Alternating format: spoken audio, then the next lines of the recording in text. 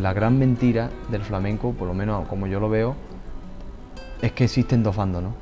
Cuando es mentira, aquí no hay ni un bando ni otro. Aquí hay un cante flamenco que el que lo puede interpretar bien lo interpretará y el que no, no lo puede interpretar.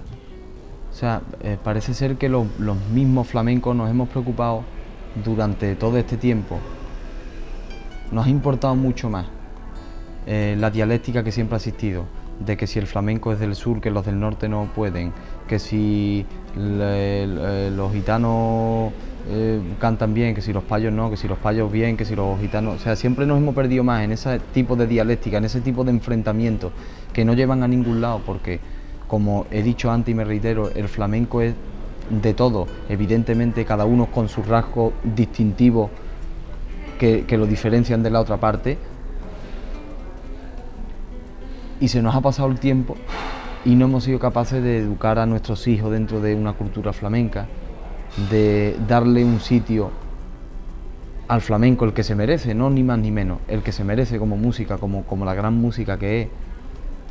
Eh, es increíble que eh, en los colegios, en las universidades, nos impartan clases y cursos para el flamenco. Es increíble que el flamenco eh, vaya escenario que no solo no se lo merece el flamenco, sino no se lo merece la música en general.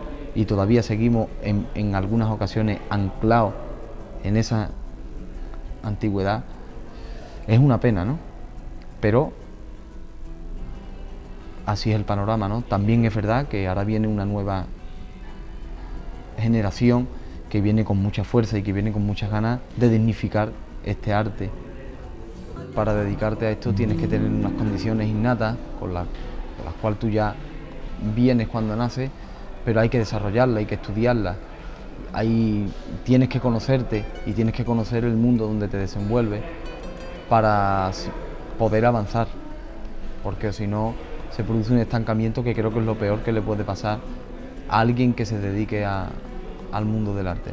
Cuando me subo a un escenario, el primero que quiero gustarme soy yo y, a partir de ahí poderle gustar a, la gente, ¿no? En ese sentido yo me siento, me siento así, ¿no? no lo que pasa que, bueno, necesitamos de la aprobación de los demás para subsistir, pero eh, realmente yo a mí lo que me mueve es una historia personal, ¿no? Bueno, por aprender me queda todo, ¿no? Creo yo, ¿no? Como dije antes, mucho más de lo que sé.